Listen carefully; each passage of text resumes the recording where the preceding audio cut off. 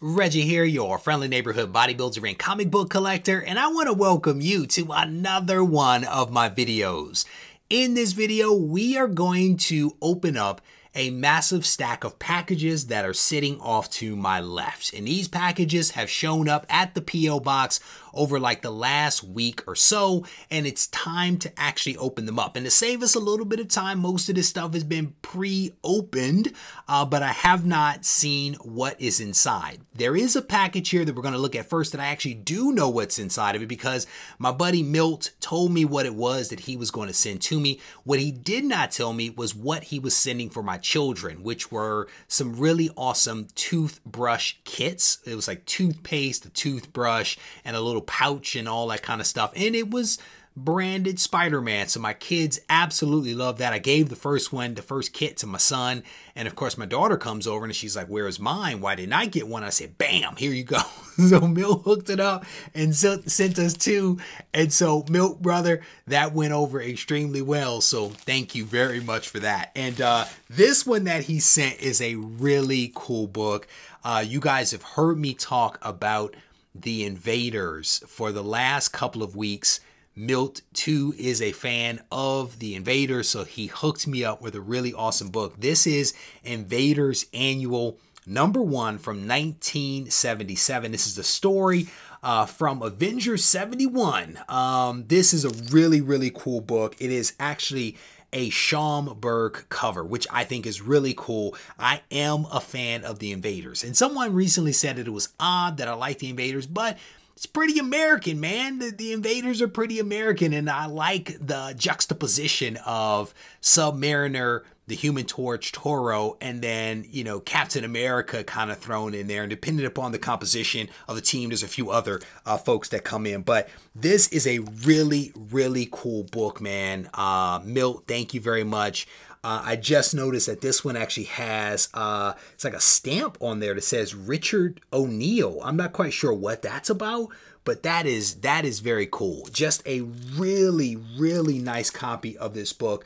Um, that I'm very thankful to have in the collection. I have a lot of the Invaders books. For whatever reason, whenever I see these books, I tend to pick them up. I don't quite know why that is, but it, even if I have multiple copies, I keep buying Invaders.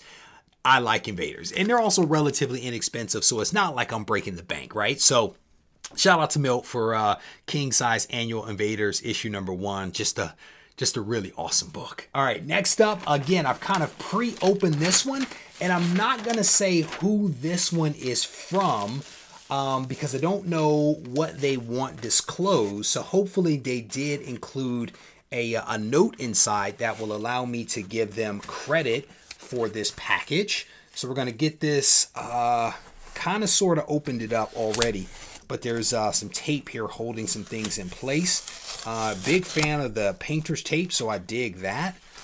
The first thing that comes out is graded 9.8 white pages or bust. It is a, a magnet. I've never seen that before. I'm not quite sure who made this, but uh, that's pretty cool. It says retro in the background. So that's pretty cool. It's like a refrigerator magnet. I dig that. And what's inside of here looks to be a nice stack of books. So let me toss the uh, packaging on the floor. And this one says, Heroes Your Mom Threw That's cool. That's cool. Thankfully, my mother threw out none of my heroes when I went off to college and other things. She, my mother protected my collection, and I'm very thankful for that. She did, however, drop it off as quickly as she could once I got settled a little bit later in life. Uh, but but that's what mothers do. So this is actually from uh, Goose Fang. I guess I can say who this one is from. Um, he says, 1G, here are a few tokens of appreciation for all you provide to the community. Hope you enjoy these books. Uh, the Bunny Mask Blood Red variant is an exclusive to my LCS. Heroes Your Mom Threw Out, and Fat Cat Comics there first. So there you go. Now that makes a whole lot more sense right there. I've never heard of that comic shop before. I dig I dig the name and I dig the uh, the logo, right? Because how many stories have we heard about moms and dads throwing out comics, right? So I dig that. That's well done. Uh, when my buddy at Retro came out with the design on this magnet. There you go. I knew it was perfect for your channel. Love all of the robust content. So there you go. Ro Retro R E T R O rys.com retro sis i think that's how you say that. Came out with that. That's very cool. We'll have to do our wall back there in all 9.8s to acknowledge that. So uh, goosefang thank you brother. I definitely appreciate that. What's crazy is that i'm looking at this very first book and i I do believe I saw this book recently online, and it could have been on Instagram. I'm honestly not sure but that is Bunny Mask issue number one from Aftershock. I have not read it, but I thought it was an interesting cover. You know, I really did. And this this this could be about vampires or possibly uh, zombies from the way that she looks with the bloody mouth and almost like fangs. So that's going to be very interesting. Thank you, Goose Fang. I definitely appreciate that. And uh, there's another little stack here, so we're gonna pull these out of the sleeve and see what else he sent. Uh, this is Captain Kidd, Captain Kidd from uh, Aftershock. There you go. Have to love what these indies are doing right now. Captain Kidd, I have not seen that one before. Here is uh, The Wrong Earth. Who is this one from? Ahoy Comics. This is issue number two right there. It's a pretty cool cover. I dig that. That's a cool cover. And there's another one here. This is The Wrong Earth issue number one. That's pretty cool. I dig that. That's issue number one and then issue number two as well, both from Ahoy Comics. And then the last one is also from Ahoy Comics, but it's the free comic book day. That is very cool. I've actually been thinking about doing a video this is uh, Dragonfly and Dragon Man. I've actually been thinking about doing a video comprised entirely of free comic book day comics because I've actually found a healthy number of them in the comic book collection. So I've been thinking about doing that. Maybe you'll see that that uh that book again. So Goose Fang Thank you, brother. I definitely appreciate you sending over these awesome independent books because you guys know I am a fan of the indies. Uh, they are putting out some amazing content. Anything that we can do to kind of showcase what they're doing, profile them a little bit more. Uh, that I'm all for that. And again, shout out for uh, for the cool things here from these two organizations. So thank you, brother. I definitely appreciate that. Some cool stuff. All right, so let me toss this stuff on the floor. Uh, there's another couple more packages. Let me see if I can reveal who this is. Um, okay, so I think I can. I think I can say this. All right, cool. So uh, this one says, "Here are a couple of odd books which are very interesting. The series only lasted for two issues before lawyers made sure it would not continue. There is an extra set for you to use as a trivia giveaway in the future. Thanks a lot, and I enjoy all of the content and community. And I think that says Clyde. I think that says Clyde. Let me grab my note here. Pardon me. Ah, tossed it on the floor. Um, I think that's what that says. There's a C and then there's an H. So if I'm if I'm if I'm not giving proper credit, you definitely have my apology. Um, sorry, brother. I'm not the best with uh, reading people's handwriting, so you have my apology for that. Let me try to separate these two, and then there's a note. Oh, oh, oh! Hold on, hold on. Um, okay, okay. So let's do this. There, there is a trivia question that he has inserted in here for our benefit. So let me open this thing up. Let's see what's inside, and then maybe we will do an instant giveaway sponsored by the uh by the person at AOKDs. Oh, check that. oh, the oh, the, these look like some interesting comics. Okay, so this is the uncensored mouse and i don't know what to make of this cover. Uh, i don't know what this is. I'm going to crack it open and see what's inside. A classic collection of uncensored Floyd Gottfredson I think that's how you say that. Comic strips from the 1930s, complete and uncut. This is from Inter- Eternity Comics. There is issue number one, which is this one, and also issue number two right there. And I'm guessing uh, this might be the House of Mouse that shut them down. We don't want to mention their names. We don't want any trouble here. But there is a trivia question that was inserted, as I mentioned. And um, let's go ahead and we'll do this trivia question. And maybe what we'll do is randomly pick a winner from the comment section, uh, or maybe we'll go with whoever's the first person to get it correct. I don't know which one we'll do. Possibly the first that comments. That might be the fairest way to do it. Uh, so here is the trivia question Who were Mickey and Minnie Mouse's companions? in the early newspaper strips. And so uh, this is a multi part. I want to go ahead and say that there are two of them. Both individuals need to be named. Full names for both individuals need to be named. That is the trivia question. Who were Mickey and Minnie Mouse's companions in the early newspaper strips? So there we go. That is the trivia question, and we will go with whoever is the first to get it correct based upon the timestamp that I see. So there you go. All right. Uh, and if I butcher your name, if it's not Clyde H, please let me know. And again, you definitely have my apology. Um, you definitely have my apology. Uh, maybe Claude H not the best. My bad. All right, so let's move on to the next one. Uh, and this one, this one comes out of Canada, and you can almost always tell when it's a Canadian because of the green, uh, the green painter's tape there. So let's get this. Oh, there's a note. All right, so let's see what this note says. Uh, oh, it says, it says, you looked so utterly dejected when you show your alien one.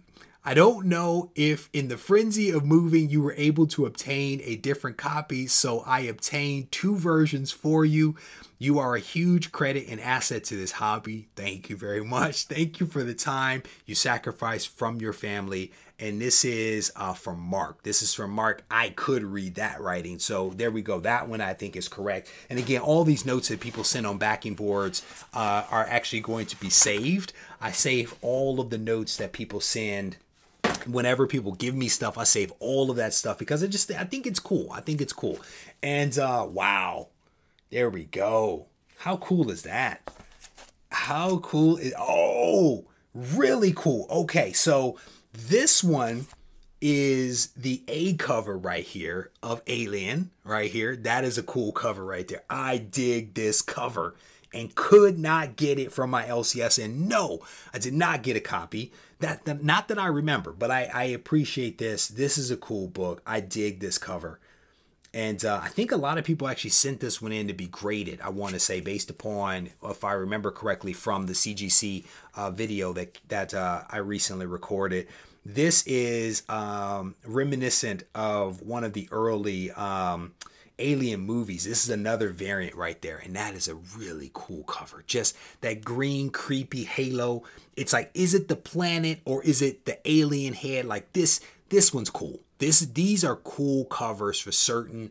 Um, and uh, by this point, you guys would probably have seen uh, my recent video in which I actually found the original Aliens comic in my collection. In the extended 100K collection, I finally found issue number one of Aliens uh, from the 80s. So I'm definitely pleased about that. But this is very cool. Mark, thank you, brother. I definitely appreciate that. I appreciate all of these AOKs, man, that people send. Anytime someone takes money out of their pocket uh, to send me something, it is meaningful to me, especially when you're sending it from Canada. And I know how much shipping is to and from Canada. So I definitely appreciate that.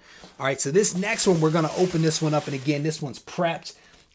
This one has a card right there with my name on it. So we're going to open this one up and we're going to see what this one says. And again, there are some people that will recognize and understand what this is when you see it. You'll understand who this is from, regardless of whether I'm able to reveal the name. And it's just one of those things that if you know, if you know, you know what's going on. All right, so let's see what this said. Uh, when a man lives with strength and spirit, when he keeps his eye on what's most important and gives his best to each day, everything is possible for him. The world needs more men like you. That is that is a very nice card. That is very nice. And it says wishing you everything that will make your birthday happy and your year rich with dreams come true. And uh, this is a birthday card from my buddy Tina. Uh, I am very thankful for our friendship, Tina, and thank you for this card. You, your name's in here, so I'm going to assume that I can say your name. I'm just going to go ahead and assume that I can say it. But that's really cool. Here's the card, the front of the card that she sent.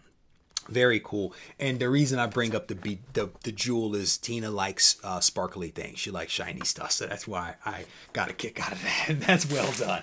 So she sent what appears to be a slab. So we're going to work our way through this. And that is a nice book. And there is definitely a theme that is going on with this video right now an accidental theme. This is a very nice book right here. This is Giant Size Invaders number one, a 9.6 white pages.